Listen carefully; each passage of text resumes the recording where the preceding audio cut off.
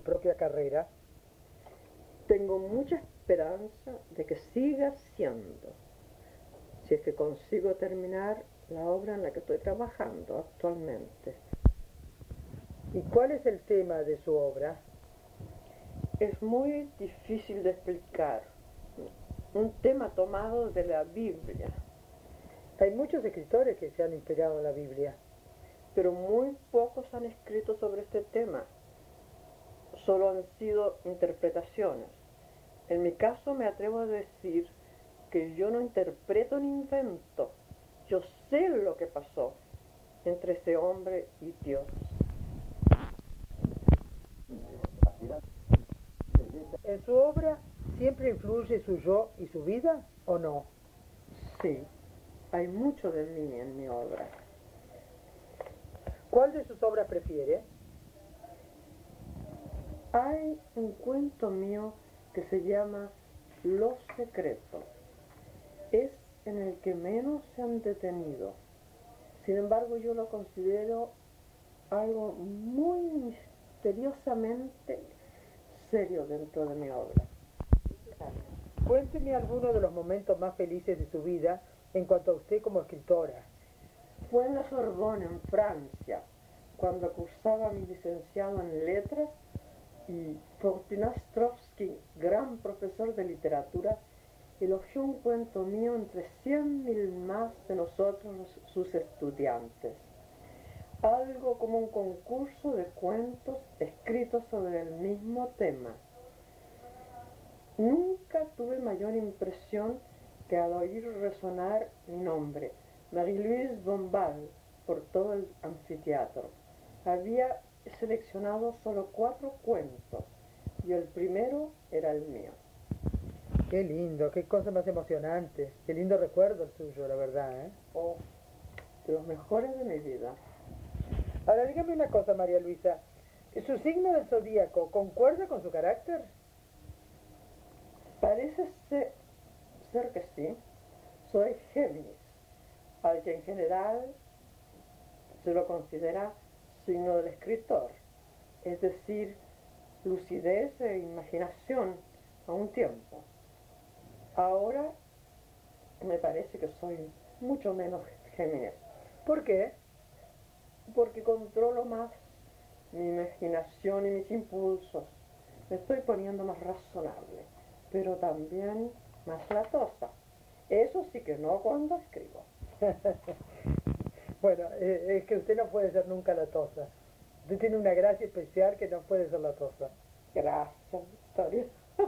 No, yo creo que todo el que la conoce puede decir, opinar lo mismo. Ahora dígame, María Luisa, yo creo que usted, no, en realidad en su vida, no sé si habrá habido mucha casualidad para el triunfo.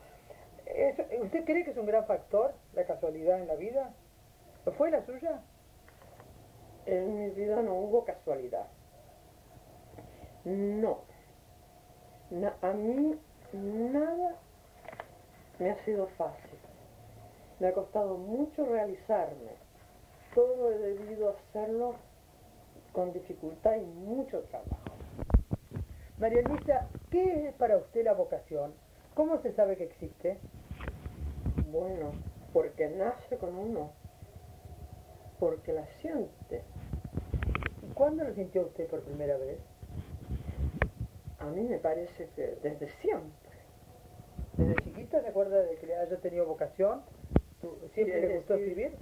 Es decir, vocación. Escribía versos desde los siete años. Escribía ah, versos. yo creo que es una cosa que nunca se ha sabido de usted. Que no, no, no me gusta. ¿No? me gusta que se sepa. Eh, porque todos los niños escriben versos. Eso es lo que usted cree. No creo que todos los niños escriban versos. Habría que hacer una encuesta para saber si todos escriben versos. ¿Sabes? Eso es una idea interesante. Le apuesto que los tres cuartos de los niños escriben versos, lo que habla en favor de ellos. pero usted siempre mantuvo la poesía en su prosa, porque su prosa es poética. Sí, pero nunca pude ser poeta técnicamente hablando. Lo que siento mucho. Pues, dígame, María Luisa, ¿usted siente que lo que hace es útil a la humanidad? sí, en un sentido, por lo que se emociona y se alegra y siente tanta gente que me lee.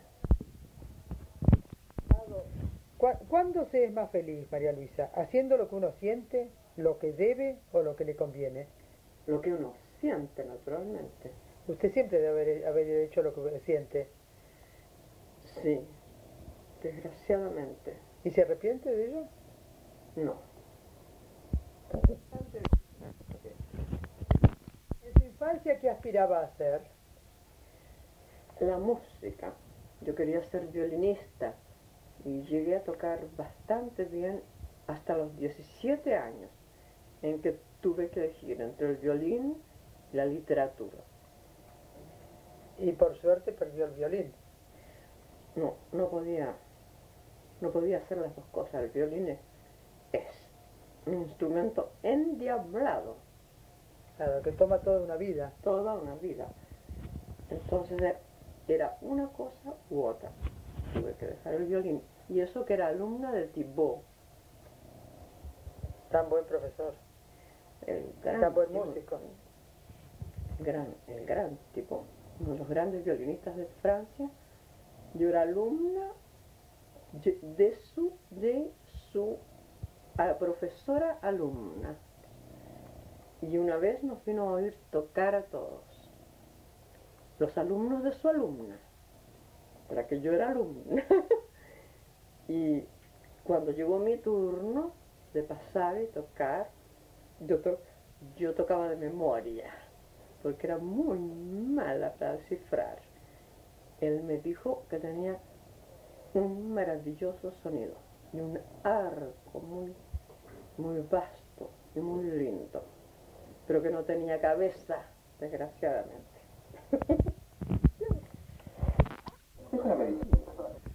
María Luisa, ¿qué es a su juicio lo que hace que un escritor sea diferente a las demás personas? Que sufra tanto, que sufra. Pero vive con personas. Eso sí, por eso sufre. Por eso- María Luisa, ¿la infancia marcó su vida? Sí, mucho.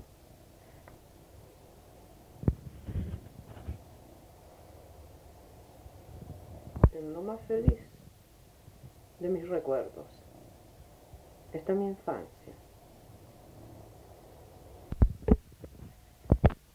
¿Está conforme con su obra?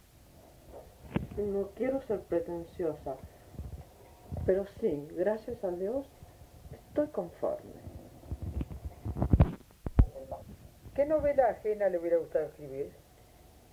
A mí, Victoria de Knut Hamsun es su primer libro, muy poco conocido.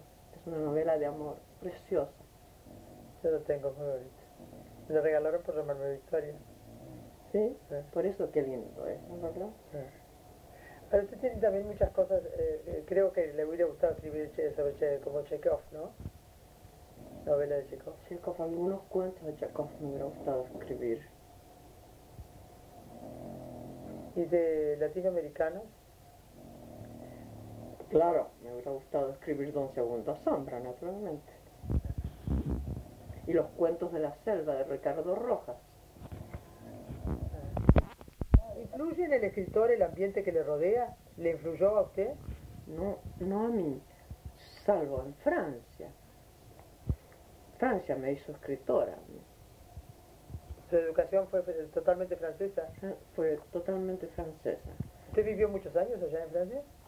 Me eduqué en Francia, desde los 12 años hasta los 21. Viví en Francia.